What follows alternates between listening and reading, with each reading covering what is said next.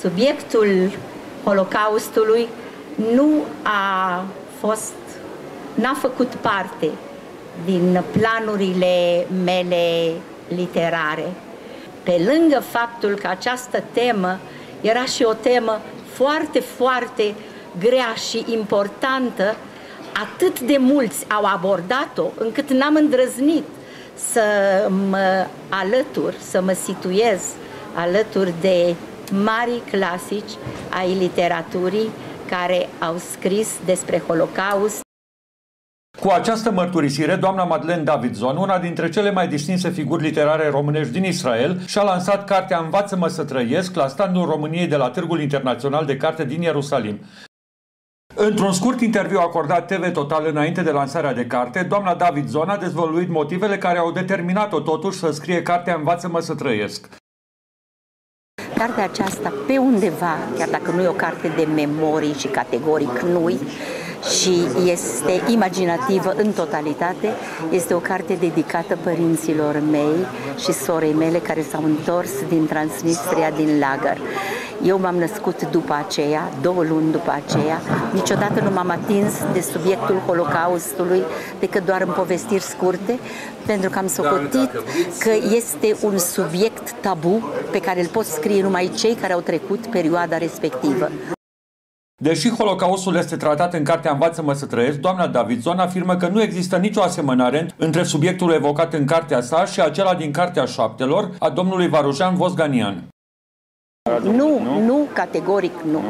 Eu am abordat subiectul tocmai din motivele care vi le-am spus până acum, din cu totul alt unghi.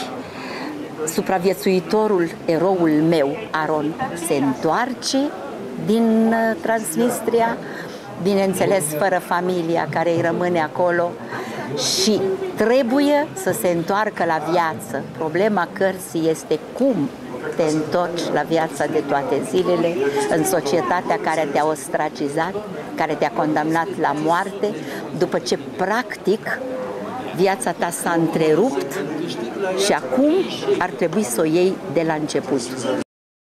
Cartea Învață-mă să trăiesc a fost lansată și în România luna noiembrie 2012 la Târgul de Carte Gaudeamus. Am impresia că această carte, poate și datorită subiectului deosebit pentru evrei, s-a bucurat de un impact deosebit. Pot să spun că la lansarea cărții la București, la editura, la librăria Sadoveanu, s-au vândut în ziua lansării 40 de cărți. Prezent la lansarea de carte, domnul I.G. Mosari, președintele Asociației Scriitorilor Români din Israel, la care sunt afiliate 60 de persoane, ne-a făcut un scurt bilanț al activităților literare pe anul 2012. Am încheiat 2012 cu un bilanț foarte bun.